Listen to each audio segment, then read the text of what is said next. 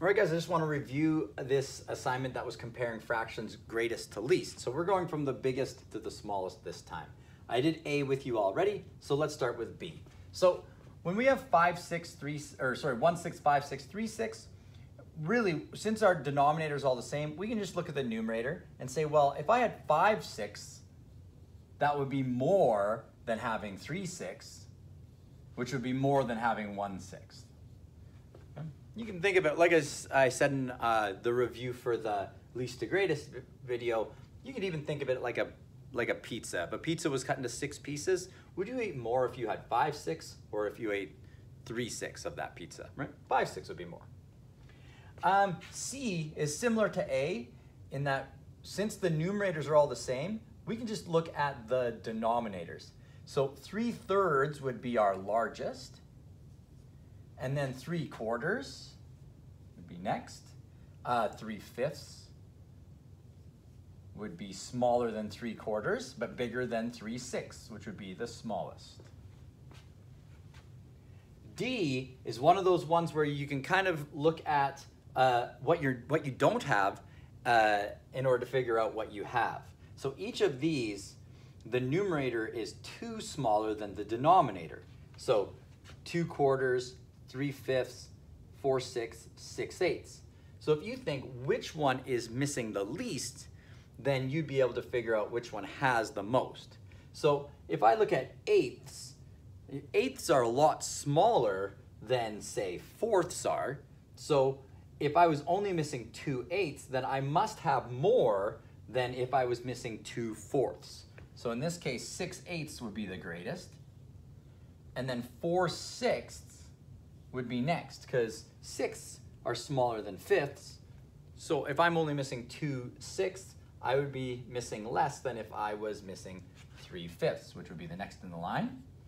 And the last one, 2 quarters, that's missing the most of uh, any of them, so we have the least. Um, e, F, and G, I want you to guys to, uh, if you're not using your fraction strips, then you should be thinking about them in terms of let's find the equivalent fraction that will help us uh, make all the denominators the same. Then they're a lot easier to compare. So I have 1 eighth, so, and fourths, uh, 3 fourths, 1 half, 5 eighths. Let's make the denom denominator all 8. So in order to make the denominator 8 in 3 quarters, I'd have to multiply 4 times 2, which means I'd also have to multiply 3 times 2. So that would be 6 eighths. 1 half I'd have to multiply 2 times 4 to get 8 as the denominator. So it means I have to do the same thing to the top. 1 times 4 is 4, and 2 times 4 is 8.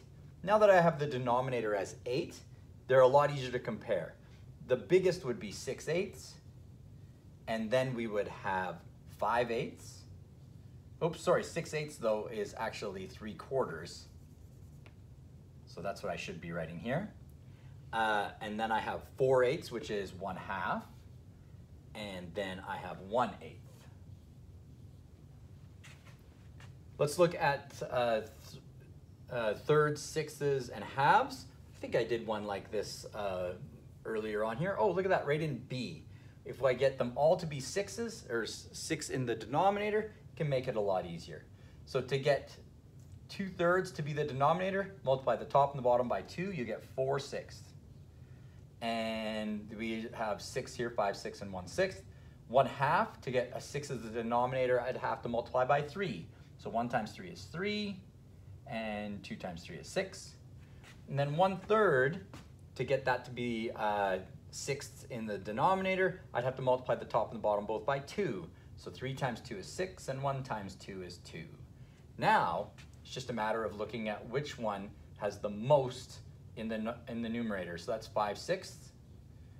Next would be 4 sixths, which is 2 thirds as the equivalent.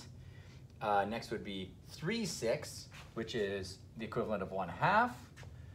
The next would be 1 third here, or the equivalent of 2 sixths, which is 1 third. And lastly, I would have 1 sixth as my smallest. Last question is tenths, halves, and fifths.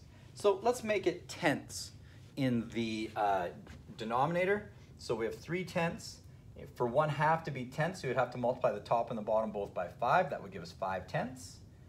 For four fifths, we'd have to multiply the top and bottom both by two. So that would be eight tenths. Same with one fifth, I'd have to multiply the top and the bottom by two. That would be two tenths.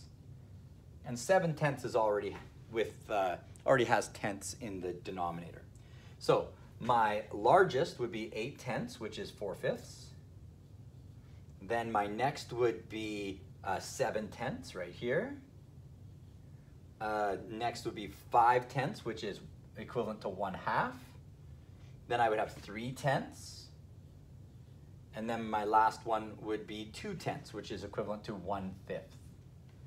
So if you're not using fraction strips, finding equivalent fractions is a great way to uh, compare the fractions as well as uh, uh, find equivalents. So hopefully that helps you guys. Thanks a lot.